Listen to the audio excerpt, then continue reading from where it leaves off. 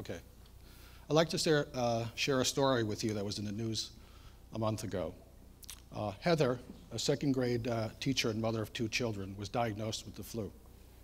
Her doctor prescribed her medication, but she uh, skipped treatment because she couldn't afford the $116 copayment. Within a few days of her diagnosis, she was experiencing complications and was admitted into the intensive care unit. Heather died the following day uh, from septic shock, a mother of 20, uh, 38 years old. Each year, 64% of Americans delay or skip medical care due to cost. My name is Ron Widener. I'm the CEO of emPower. Our mission is to, is to develop financial solutions that ensure that employees that are engaged, enrolled in health plans have the financial means to access and pay for health care at their time of need. If we look at the exponential growth in healthcare costs over the years, uh, high deductible health plans have become the new normal. It's estimated that 51% of covered workers today have a deductible of $1,000 or more. 69% of Americans would have difficulty paying for a $1,000 expected medical expense.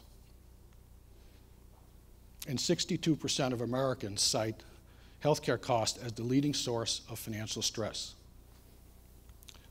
The avoidance of care combined with financial stress is estimated to cost employers and their employees upwards of a half a uh, $500 billion annually from lost productivity, wages, and uh, increased medical cost.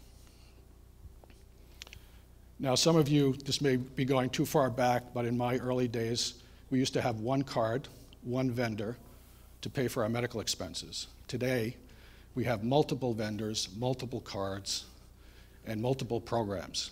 So, how we pay for medical care needs to be simplified. So, I'm sort of excited to introduce uh, our HSA program, which we developed together with US HealthWorks, a subsidiary of Dignity Health.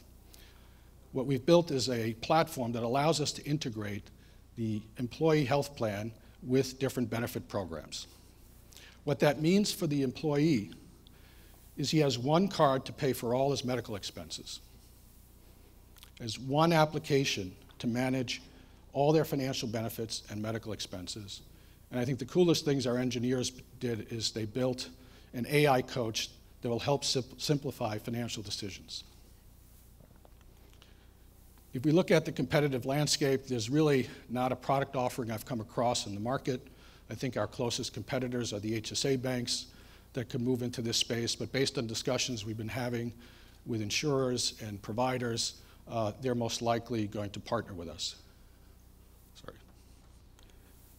As to our go-to-market strategy, we're looking to uh, first uh, start with mid-sized employers and then move to the larger self-insured employers and develop channel partnerships uh, with brokers, insurers, and providers.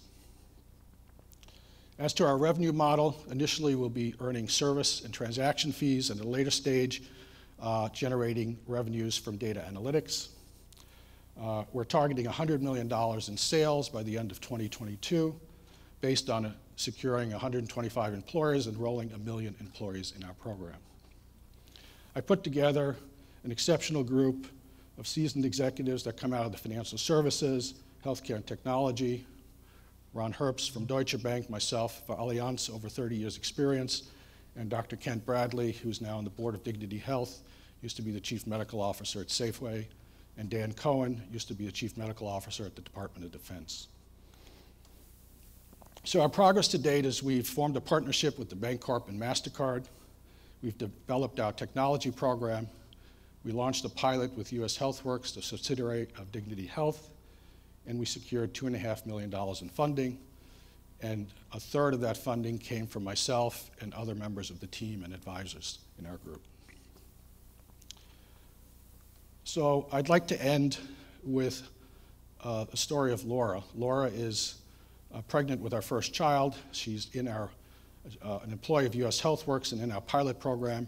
Earlier this year, she was diagnosed with a high-risk pregnancy. She was sent to a specialist, and in a matter of days, she needed to undergo a procedure.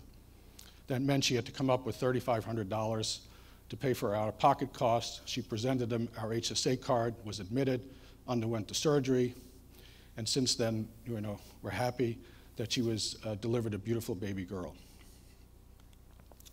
So each and every day, thousands of people like Heather are delaying or foregoing treatment because they don't have the financial resources uh, to pay for their out-of-pocket cost.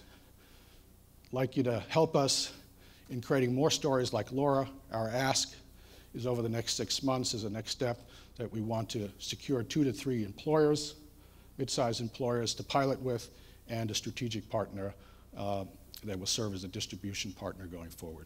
Thank you for your attention. Have a good afternoon. My shoes.